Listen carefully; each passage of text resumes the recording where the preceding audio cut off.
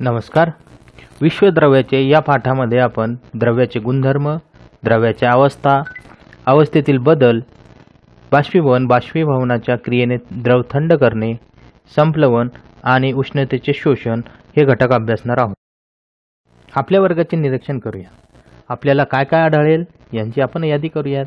बघा टेबल खुर्ची खडू फळा इत्यादी वस्तू आपल्याला दिसलेल्या आहेत. मग याचाच अर्थ आपल्या अवतीभोवती असलेली प्रत्येक वस्तू आपण आपल्या ज्ञानेंद्रियाने अनुभवू शकतो ते द्रव्य आहे.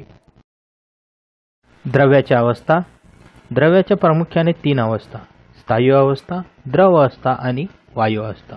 याशिवाय द्रव्याची चौथी अवस्था ज्याला आपण प्लाझ्मा किंवा आयन द्रव्यू म्हणतो ही अतिउच्च तापमानालाच आपल्याला आढळते. पाचव्या अवस्थेस बोस आईन्स्टाईन कंडेन्स्ड म्हणतात. त्याचा इतक्याच शोध लागला आहे.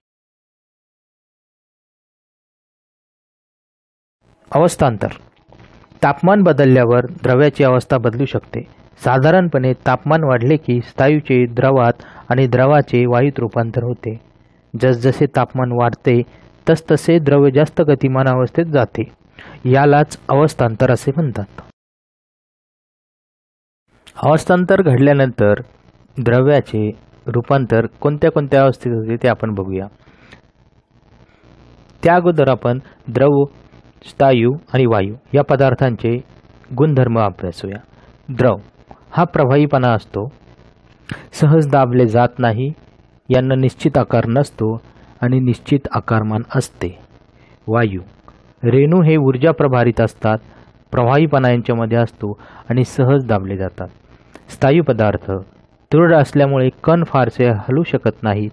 निश्चित आकारमान असते.